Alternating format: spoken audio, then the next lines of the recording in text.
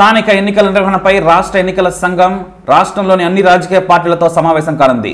విజయవాడలోని రాష్ట్ర ఎన్నికల సంఘం కార్యాలయంలో ఈ భేటీ జరగబోతుంది. వైరస్ కారణంగా స్థానిక ఎన్నికలను గత మార్చిలో కమిషనర్ నిమ్మగడ్డ రమేష్ కుమార్ వాయిదా వేసిన సంగతి తెలిసిందే. ఇప్పుడు దేశవ్యాప్తంగా ఎంపీ ఎమ్మెల్యే ఎమ్మెల్సీ ఎన్నికలు జరుగుతున్నాయి. ఈ నేపథ్యంలో మన రాష్ట్రంలో ఎన్నికలు నిర్వహించేందుకు అభ్యంతరం ఏమిటని దీనిపై నవంబర్ రెండులోగా అఫిడవిట్ దాఖలు చేయాలని రాష్ట్ర హైకోర్టు కమిషన్ ఆదేశించింది. ఈ పరిస్థితులలో పార్టీ అభిప్రాయాలు తెలుసుకునేందుకు అన్ని రాజకీయ పార్టీలతో సమావేశం కావాలని కమిషనర్ నిర్ణయించారు. ఆ మేరకు పార్టీలకు ఆహ్వానాలు కూడా పంపారు. అయితే అధికార పార్టీ వైసీపీ ఎన్నికల నిర్వహణకు సిద్ధంగా లేనందున ఈ భేటీకి హాజరు కావడం లేదని సమాచారం. వైసీపీ ఇతర పార్టీలన్నీ కూడా ఇప్పటికే నిర్వహించిన ఎన్నికల ప్రక్రియ రద్దు చేసి కొత్తగా నోటిఫికేషన్ విడుదల చేయాలని డిమాండ్ చేస్తున్నాయి.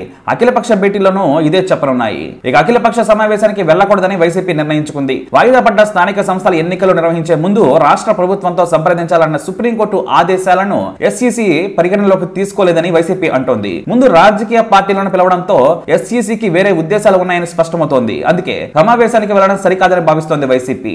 ఉనికిలో లేని పోటీలో లేని ఒక్క ఓటు కూడా రాని పార్టీలను పిలవడం ఏంటని కూడా ప్రశ్నిస్తోంది. కోవిడ్ కేసులు కూడా లేని రోజుల్లో ఎన్నికలు వాయిదా వేశారని ఇప్పుడు రోజుకు మూడు వేల కేసులు నమోదవుతుంటే ఎన్నికలు నిర్వహిస్తారా అని నిలదీస్తోంది. ఎన్నికల సిబ్బంది భద్రతకు ఎవరు బాధ్యత వహిస్తారని వైసీపీ అంటోంది. ఇక అఖిలపక్ష భేటీకి తాము వెళ్ళడం లేదని కూడా వైసీపీ అధికారికంగా ప్రకటించింది. పార్టీ కేంద్ర కార్యాలయంలో ప్రధాన కార్యదర్శి అంబటి రాంబాబు ఈ విషయాన్ని వెల్లడించారు. ఒకసారి ఎన్నికల ప్రక్రియ ఆగిపోతే దానిని తిరిగి ప్రారంభించాలంటే రాష్ట్ర ప్రభుత్వ అభిప్రాయాలు తీసుకొని ఆ ప్రకారం వెళ్ళాలని సుప్రీంకోర్టు చెప్పిందన్నారు. ఆరోగ్య కార్యదర్శి ఇచ్చే అభిప్రాయాలతో నిమిత్తం లేకుండా రాజకీయ పార్టీలను పిలవడంతోనే కమిషనర్కు వేరే దురుద్దేశాలు ఉన్నాయని కూడా ఇక్కడ స్పష్టమవుతుందని అన్నారు. ఈ నేపథ్యంలో ఈ సమావేశానికి వెళ్ళడం సరికాదని కూడా భావిస్తున్నారు. ఒక రాష్ట్రంలో ఎన్నికలు నిర్వహించే పరిస్థితులు ఉన్నాయో లేదో రాష్ట్ర చీఫ్ సెక్రటరీతో ప్రభుత్వ అభిప్రాయాలు తెలుసుకోకుండా సుప్రీంకోర్టు తీర్పును పట్టించుకోకుండా పార్టీలను పిలవడం ఖచ్చితంగా నిమ్మగడ్డ చంద్రబాబు రాజకీయంలో భాగమేనని ఆరోపిస్తున్నారు. రాష్ట్రంలో ఉనికి లేని పోటీ లేని పార్టీలను పిలిచారంటే దీని మర్మం ఏమిటో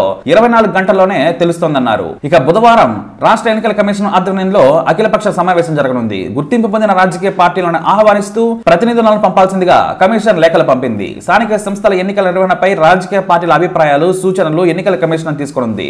ఏపీ టీడీపీ అధ్యక్షుడు Atchannaidu Congress working president Sheikh Mastan Vali CPI AP కార్యదర్శి కె రామకృష్ణ బీజేపీ నుంచి పాక సత్యనారాయణ ఎన్నికల కమిషనర్ సమావేశానికి హాజరు కావాలని నిర్ణయం తీసుకున్నారు. స్థానిక సంస్థల ఎన్నికల నిర్వహణపైనే మెజారిటీ పక్షాలు మొగ్గు చూపుతున్నాయి. ఎన్నికల నిర్వహణ కరోనా ఉధృతి కారణంగా ఇప్పుడు సాధ్యం కాదని ఇప్పటికే అధికార పార్టీ మంత్రులు తేల్చి చెప్పారు. ఇక ఇదిలా ఉంటే నవంబర్ నాలుగవ తేదీన స్థానిక సంస్థల ఎన్నికల నిర్వహణపై ఏపీ హైకోర్టులో విచారణ కూడా జరగనుంది. మరి నిమ్మగడ్డ ఇడ్డమంటే వైసీపీ తిడ్డమంటోంది వైసీపీ లేవనెత్తిన అంశాలకు ఎలాంటి సమాధానాలు ఇస్తారు? ఇవ్వాలి. మరి నిమ్మగడ్డ రమేష్ కుమార్ ఏం చేయబోతున్నారు? వైసీపీ ఏం తేల్చబోతుంది? అనే అప్డేట్స్ తెలియాల్సి ఉంది. మరి నిమ్మగడ్డ అలాగే వైసీపీ నిర్ణయాలపై మీరేమంటారో కూడా మీ అభిప్రాయాన్ని కమెంట్ ద్వారా తెలియజేయండి. ఈ వీడియో అప్డేట్స్ కోసం మా ఛానల్ ఫాలో అవ్వండి. అలాగే తప్పకుండా సబ్స్క్రైబ్ చేసుకోండి.